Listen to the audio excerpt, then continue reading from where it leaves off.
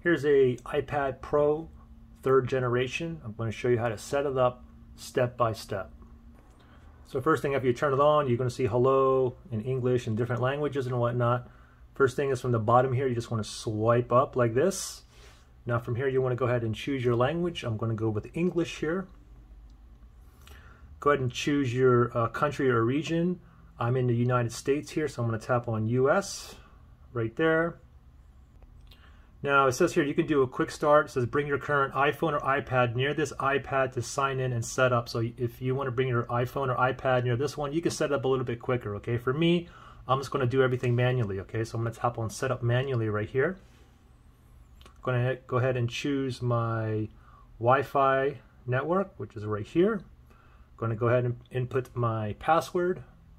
After you put in your password, you can tap on join down there or down here, it doesn't matter.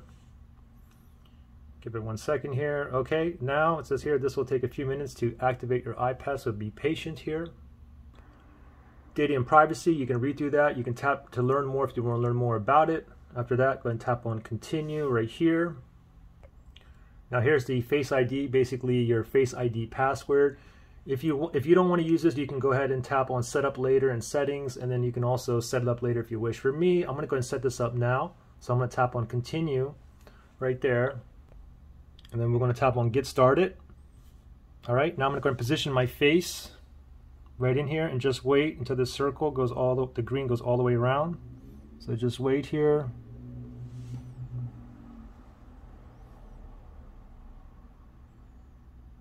Mine's taking a little bit longer because I got this camera like in the way.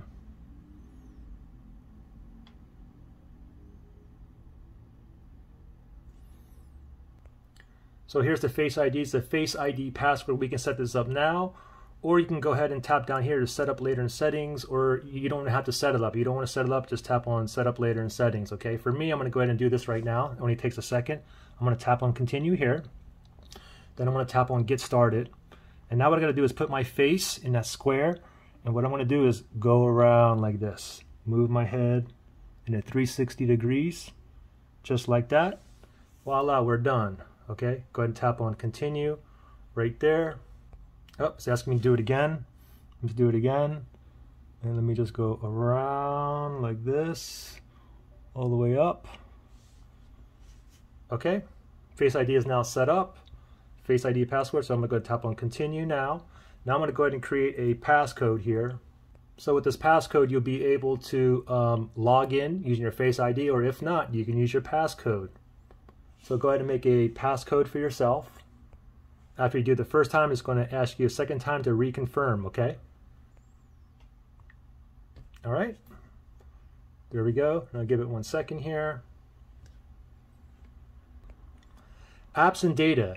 Choose how you want to transfer apps and data to this iPad, okay? So you can go ahead and if, if you can restore from a iCloud backup, you can restore from a Mac or a PC with iTunes, or you can transfer directly from another iPad, or you can move data from an Android tablet or phone, or you can don't transfer apps and data. That's what I'm going to do. I'm to have a clean slate here, so I'm going to go ahead and tap on this very bottom here.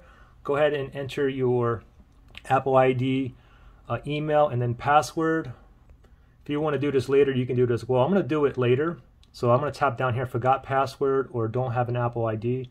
So I'm just going to tap down here. I'm just going to skip this for now and I'm going to tap on setup later in settings. I'm doing that because I can't remember my password to my Apple ID. So I'm going to go ahead and tap on, are you sure you don't want to use Apple ID? And I'm going to put on don't use for now. And again, what I'll do is I'll set it up later. From here, terms and condition, you must agree to proceed, okay? So I'm going to tap on agree right there. Express settings, you can customize settings or you can just continue from here. For me, I'm good with just going with continue here. Keep your iPad up to date. I'm going to tap on continue. And here we can go ahead and set up Siri, or you can click down here, set up later in settings, or if you don't want to set it up, you can also just click down here, set up later in settings. For me, I'm going to go ahead and set this up Siri now. I'm going to tap on continue. I'm going to pick my voice that I want. So I just got to pick hi, one. I'm, hi, I'm hi. I'm okay, so I'm good with this one here. Now I'm going to click on like next. You can change it. Hey Siri. You got to read this. Hey Siri, send a message. Hey Siri, how's the weather today?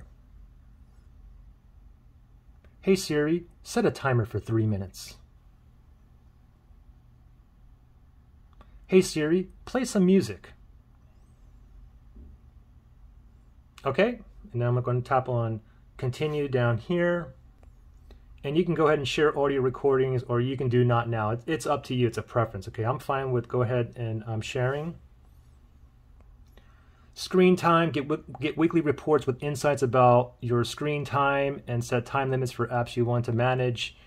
Uh, if you want to do that, go ahead and tap on continue. I, I'm, I don't care for the screen time, so I'm just going to click on setup later in settings and never set it up.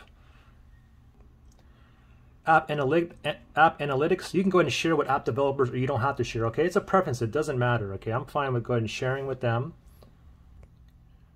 True Tone Display, you can go without it or you can go ahead and use it. I would recommend just go ahead and use the True Tone Display. Tap on Continue down here. Appearance, do you want light or do you want dark mode? Okay, most of you guys will go with the dark mode. I like the dark mode as well. I'm going to tap on Continue. Welcome to iPad. Tap on Get Started. And voila. So there you go. Hey Siri, what's the weather today? It's currently clear and 64 degrees. Temperatures well, will be fairly consistent. There you guys go.